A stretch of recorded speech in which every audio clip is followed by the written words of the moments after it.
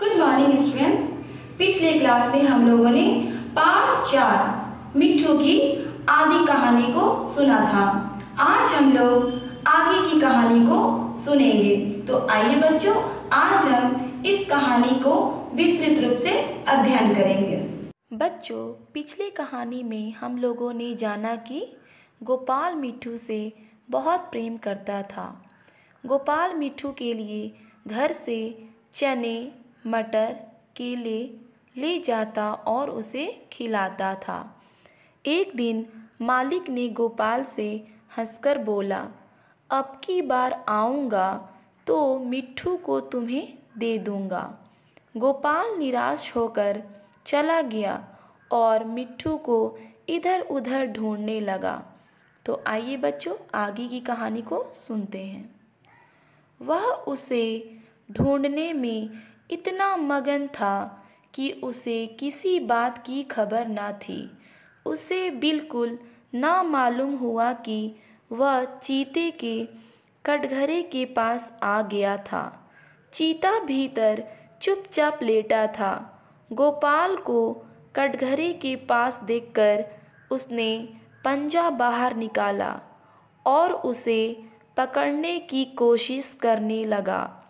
गोपाल तो दूसरी तरफ़ ताक रहा था।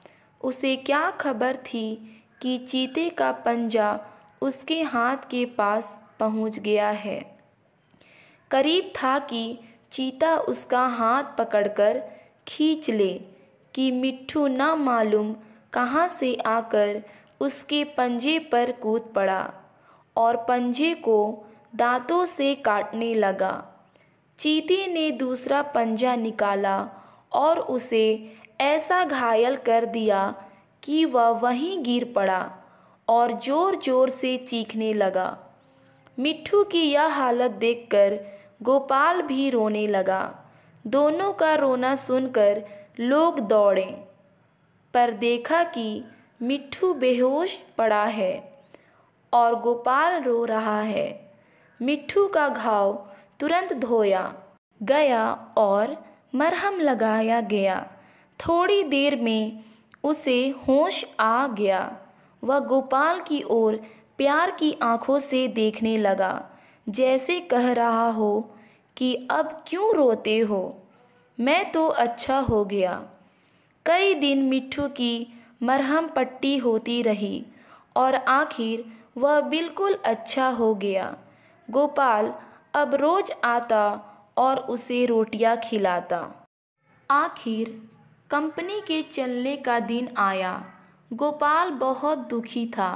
वह मिट्ठू के कटघरे के पास खड़ा आँसू भरी आँखों से देख रहा था कि मालिक ने आकर कहा, अगर तुम मिट्ठू को पा जाओ तो उसका क्या करोगे? गोपाल ने कहा, मैं उसे अपने साथ ले जाऊँगा, उसके साथ खेलूँगा और अपनी थाली में खिलाऊँगा। और क्या? मालिक ने कहा, अच्छी बात है, मैं बिना तुमसे अठन्नी लिए ही इसे तुम्हारे हाथ बेचता हूँ। गोपाल को जैसे कोई राज मिल गया। उसने मिट्ठू को गोद में उठा लिया, पर मिट्ठू नीचे कूदकर उसके पीछे पीछे चलने लगा। दोनों खेलते कूदते घर पहुँच गए। इस कहानी के रचयिता मुंशी प्रेमचंद्र हैं। जीवन मूल्य, प्रत्येक जीव के साथ अच्छा व्यवहार करना चाहिए। Thank you.